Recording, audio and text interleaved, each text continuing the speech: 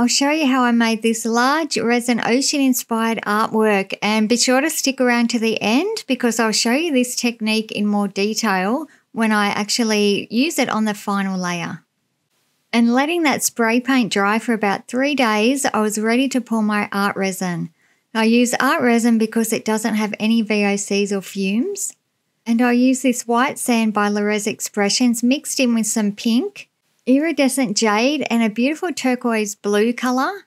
And for the darker shade of the water, I'll use teal blue. They're all by Lerez Expressions. And I'm pouring them strategically at that end because I'm tilting the board to blend the colours.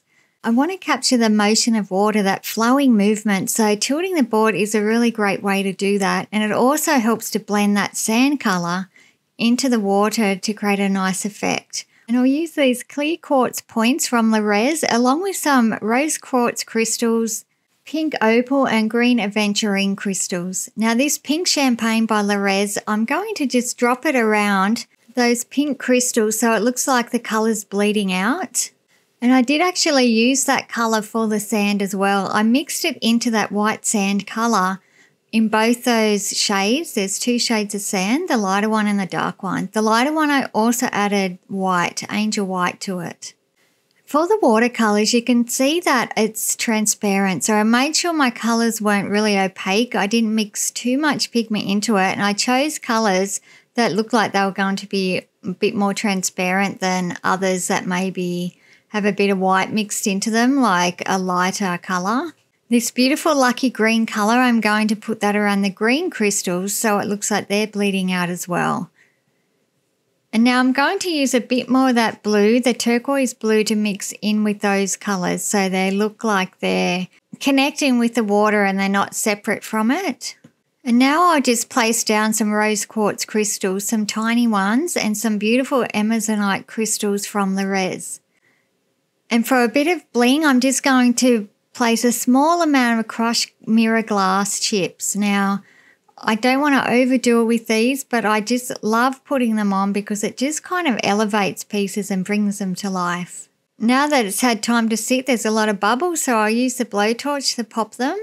Now here comes that technique I was telling you about. Now this is the second layer and I'm using this bathroom cleaning foam. It's called Easy Off BAM.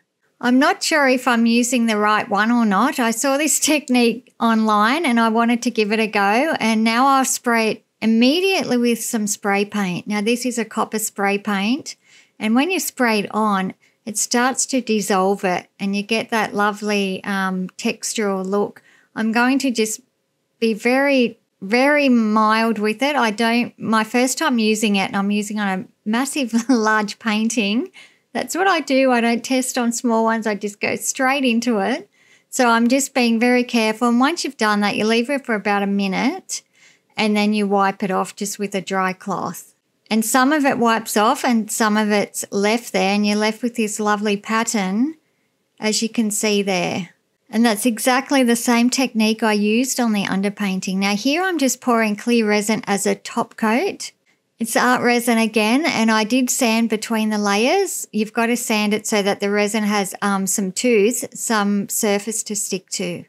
Well, I hope you enjoyed that new technique. I certainly did. Let me know what you think of it and should I try it again? And have you tried it? Give me some tips. I'd love to learn a bit more about it myself. So thank you so much for watching and I hope to see you next time. My name's Michelle Tracey.